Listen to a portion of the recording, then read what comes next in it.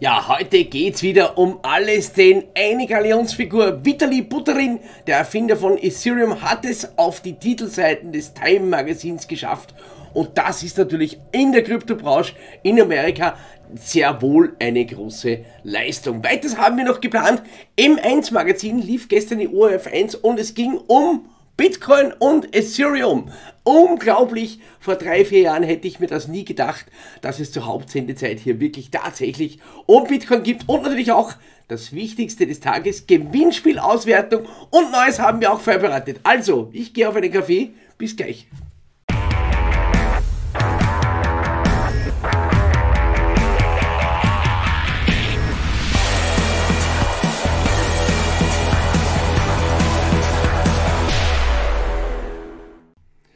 Ja, einen wunderschönen Start in den Morgen und natürlich haben wir unsere T-Shirts in unseren Shop hinterlegt, einfach unter blockchainbrothers.at, ähnlich wie es gerade in der Werbung präsentiert worden ist. Und ich bin euch etwas schuldig, denn wir haben einen Gewinner ermittelt und den geben wir nach der Sendung bekannt. Und natürlich gibt es diese Woche wieder einen Gewinner, denn ihr müsst nichts anderes machen, als unter diesem Video darunter kommentieren, welches T-Shirt hättet ihr gerne, welche Farbe und welche Größe. Einfach einen Kommentar darunter lassen und bei der darauffolgenden Sendung kommt es direkt zu dir nach Hause über den Postweg und das Ganze natürlich kostenlos, denn wir wollen unseren Channel in die Höhe bringen und es heißt so schön von YouTube, wenn wir ganz viele Kommentare haben, dann soll der Algorithmus uns in die nächste Dimension schicken und das hoffen wir natürlich schon seit einiger Zeit. Ja, was gibt es natürlich auch Neues? Wir müssen etwas Input bringen, denn nicht nur die Kaffeetasse oder das T-Shirt bringt uns weiter, sondern tatsächlich auch der Content. Und da gab es natürlich einen Titelhelden, denn der Titelheld hieß Vitali Buterin, heißt es so schön, der Erfinder von Ethereum. Und der schaffte es tatsächlich auf die Titelseite des Time Magazins. Und das ist hier schon eine Leistung, denn nicht nur, dass er in Zukunft Ethereum die zweitgrößte Kryptowährung oder die Kryptobranche, wenn man es so schön sagen darf, hat hier den größten Vorrang, denn nicht nur, dass er kein Stromfresser mehr ist, wesentlich schneller und jetzt sollte die Skalierung folgen, Proof of Stake, von Proof of Work auf Proof of Stake. Das heißt natürlich hier weniger Möglichkeiten, weniger Stromverbrauch und natürlich auch das ganze Netzwerk zu erweitern. Also die große Skalierung ist geplant mit Juni und deshalb bin ich ganz gespannt, wie sich hier der Preis entwickelt. Aktuell heute 6.55 Uhr, 23.03 am Mittwoch und der Preis ist wieder unter 3000 Dollar gefallen, denn wir hatten ja gestern ganz knapp über 3000 Dollar gesehen, aber in der Nacht gab es wieder einen kleinen Rücksetzer von 50 oder 100 Dollar, also nicht nennenswert, aber die 3000 Dollar scheint ja noch nicht so richtig zu knacken und das Ethereum 2.0 sollte jetzt wirklich in den Final Streifen kommen oder in das Finalisierung kommen, denn es heißt, ab Juni soll Ethereum 2.0 auf Proof of Stake umgestellt werden. Und da sind wir natürlich ganz gespannt, denn nicht nur, dass es hier ein Ethereum 2.0 geben wird, sondern auch da werden hier Kurssprünge prognostiziert zwischen 25.000 Dollar sollte anscheinend ein Ethereum in Zukunft wert sein. Ich halte von Prognosen ja, eigentlich schon einige Sachen. Ich prognostiziere auch oft selbst, weil ich ja hoffe, dass natürlich der Kryptomarkt nicht bei die 1,9 Billionen Dollar gesamte Marktkapitalisierung bleibt, sondern er sollte in Richtung 3 Billionen Dollar wachsen und dann kann man immer noch sagen, es ist ein Kleinkind oder ein Baby am gesamten Finanzmarkt in der ganzen oder auf der ganzen Welt. Ja, was haben wir noch vorbereitet? Binance ist natürlich auch stark. Letzte Sendung haben wir besprochen. Wir werden auch hier auf dem Laufenden halten, wenn Binance jetzt tatsächlich in Österreich startet, was wir da in Österreich beachten sollen. Äh, der Großteil von euch ist da natürlich auch angemeldet auf Binance, aber Binance Österreich haben wir noch nicht umgestellt. Das wird sicher ganz, ganz interessant.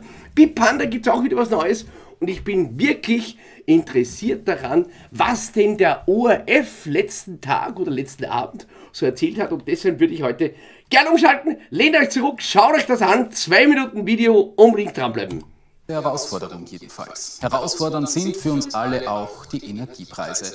Und da kommen Kryptowährungen ins Spiel, denn Bitcoin und andere Kryptos kosten vor allem eines, Strom. Sehr viel Strom sogar. Eine unscheinbare Lagerhalle, irgendwo in Österreich dahinter eine Bitcoin-Serverfarm. Große Rechenzentren hierzulande selten und oft dann auch wieder Vergangenheit. Braucht es doch für Bitcoin mittlerweile vor allem eines, billigen Strom und der Bedarf daran steigt mit jeder Münze.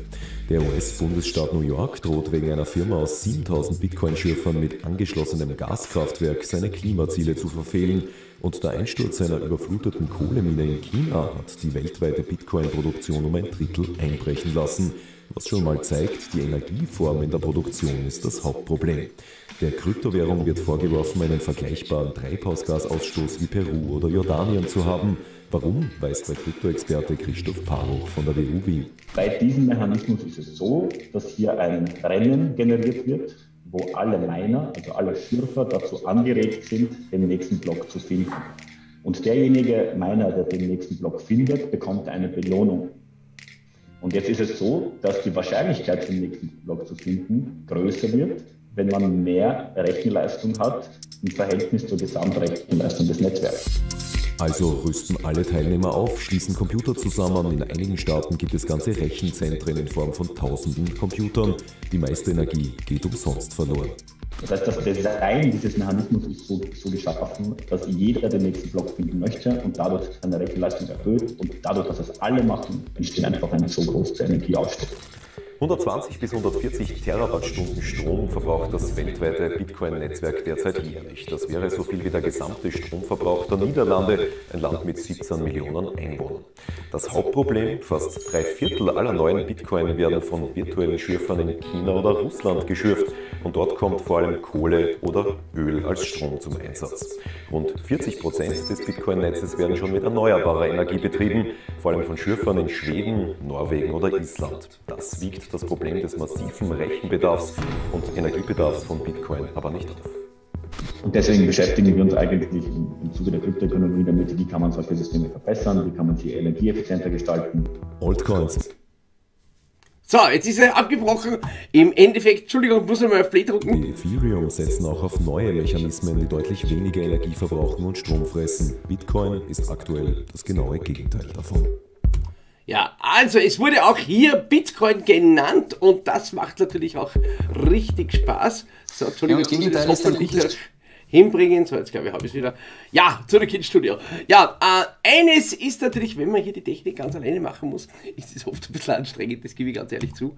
Äh, so, Magazin 1. Ja, ORF 1 in Österreich ist so, ja, sagen wir mal, der alte Sender und dazu natürlich sehr konservativ. Und mittlerweile haben die hier wirklich einiges auf die Beine gestellt. Nicht nur, dass wir regulatorisch ganz, ganz weit vorne sind in Österreich und auch im, in der Kryptobranche mit Bipanda, mit ganz großen Firmen wie Salamantex und Blockbit, die nicht nur nationale sagen wir mal, ähm, große Anerkennung äh, verdienen, sondern auch internationale Anerkennung. Und das ist ein Riesenvorteil und das freut mich ganz besonders, dass man hier heute im Hauptabendprogramm oder gestern im Hauptabendprogramm wirklich tatsächlich über Bitcoin was erfährt. Ethereum, die Nummer 2, schauen wir, wie lange das noch so sein sollte, wenn 2.0 in die Gänge kommt. Und dann bin ich natürlich ganz nervös. Und eines sollten wir nicht vergessen, unser Gewinnspiel. Und dazu kann ich eines auswerten. Danke, danke, danke an diese ganzen Kommentare und ich würde heute hier mal per Zufallsgenerator äh, kreieren. Ich kann das aber jetzt leider nicht teilen, weil sonst bleibt wieder das Bild hängen. Ah, wir haben hier eine Grisi, einen Tom Mali, einen Monkey, einen Tom, einen Johann, einen Martin, einen Sven und ein Florian hat das gewonnen. Er möchte gutes Video weiter so. Größe M. Bitte, lieber Florian, schick uns unter bb.blockchainbrothers.at genau deine Farbe, deinen Text und deine Größe und dann bekommst du es diese Woche noch direkt nach Hause. Und für alle anderen hoffe ich natürlich, dass ihr fleißig mitkommentiert. Schreibt uns bitte nicht nur die Größe dazu, sondern auch die Farbe und welcher Spruch draufstehen soll, denn unseren Shop könnt ihr es also auswählen, blockchainbrothers.at, dass ich es herausbringe, im Shop. Ja, das war's von meiner Seite. Hoffentlich hat es euch gut gefallen. Bitte einmal liken, wäre ganz, ganz interessant. Und nicht vergessen mitkommentieren. Diese Woche komme ich hundertprozentig nochmal und ich würde sagen, danke, auf Wiedersehen und goodbye.